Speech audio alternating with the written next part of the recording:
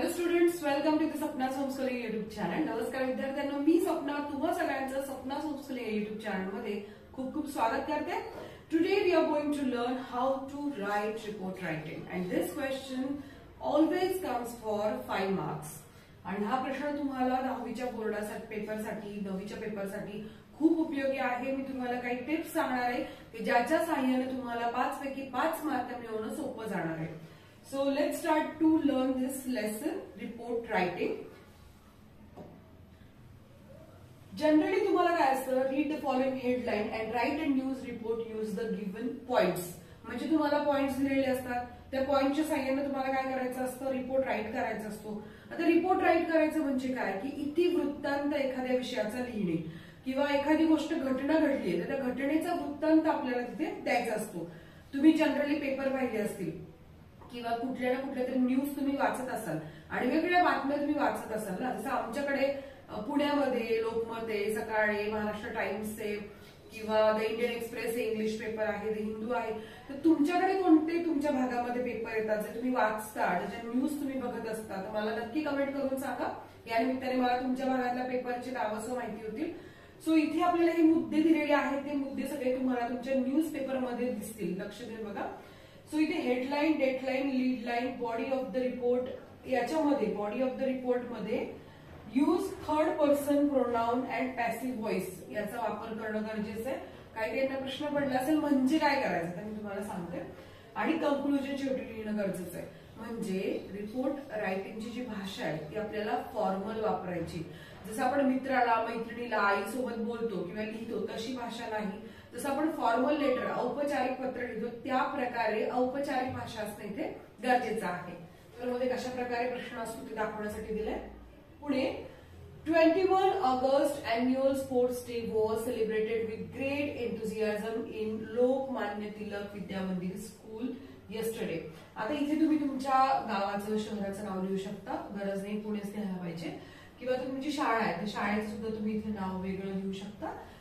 म्हणजे तुम्ही चेंजेस करा ना अकॉर्डिंग तुमच्या शाळेप्रमाणे.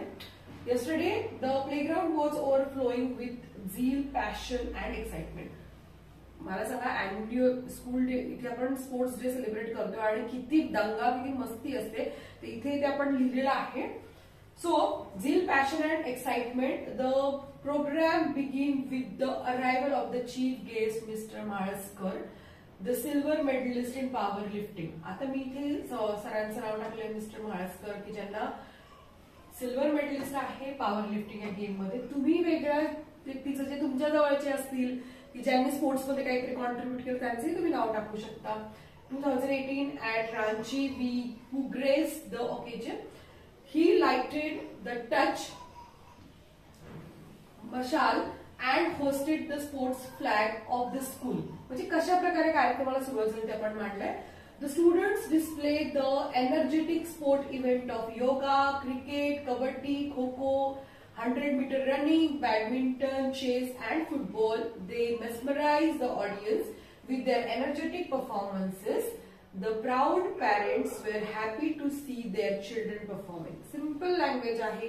कशा प्रकारे मुलांनी वेगळे खेळ सादर केले. पालकांना किती छान वाटलं.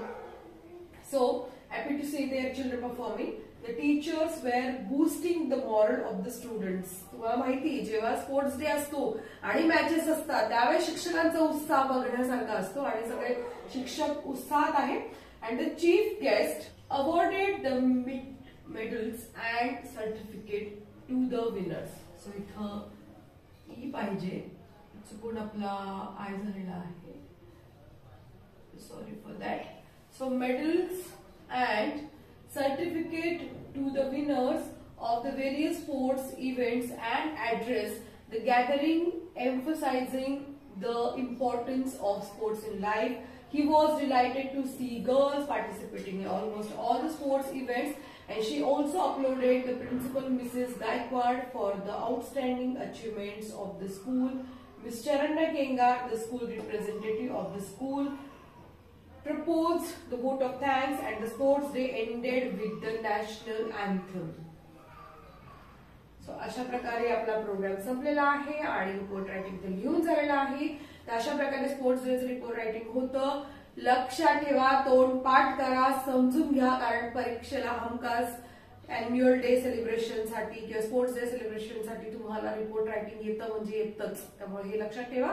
व्हिडिओ इथे संपलाय. आवडला असेल तर मला नक्की कमेंट करून सांगा की डिजिटल बोर्डवरती तुम्हाला व्हिडिओ बघायला कसं वाटतंय. आणि व्हिडिओ आवडतात का? शिकवलेलं कळतं की नाही? मला सांगाल आणि तुम्हाला आवडत असेल तर नक्की चॅनल सबस्क्राईब करा. मित्रमैत्रिणी व्हिडिओ शेअर करा. त्यांचाही फायदा होईल आणि तुम्हाला काही मला सजेशन द्यायचे असतील तरी सुद्धा मोस्ट वेलकम भेटत नेक्स्ट व्हिडिओमध्ये धन्यवाद.